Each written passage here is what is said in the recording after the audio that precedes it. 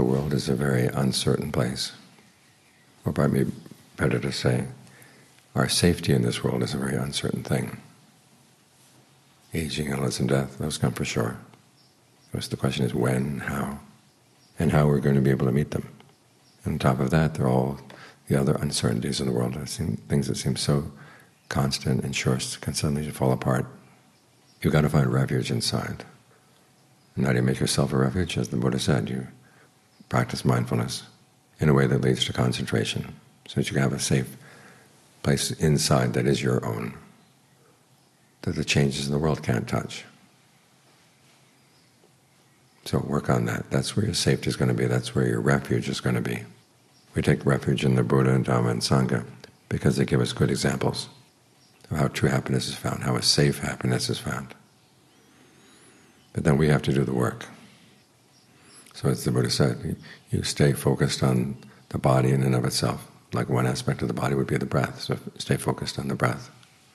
Learn to make it a solid place inside. The image the Buddha gives is of an island and a river and, and flood. But there's an island that's above the flood. That's what you want to create inside here. So for the time being, any other issues that come up are not of any interest to you. You have to find time every day when you can turn off the affairs of the world. Here at the monastery, you can turn them off all, all day long. Out in the world outside, you have to have some time for yourself. Be very strict with yourself about not allowing other things to get in the way of getting the mind to have its own place inside where it can heal itself.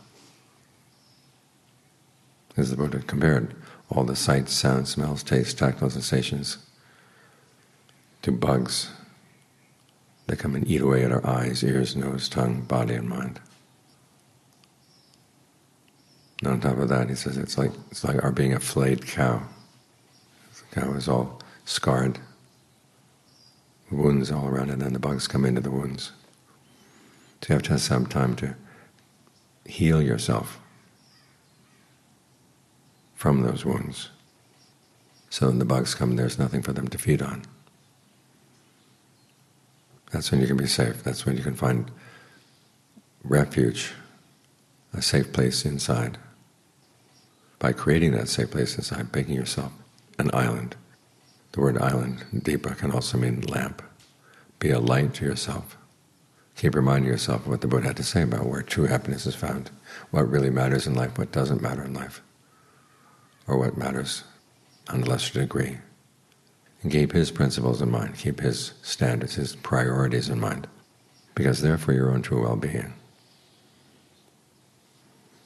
It's in this way that you can live in the world and not be wounded by the world, not be misled by the world.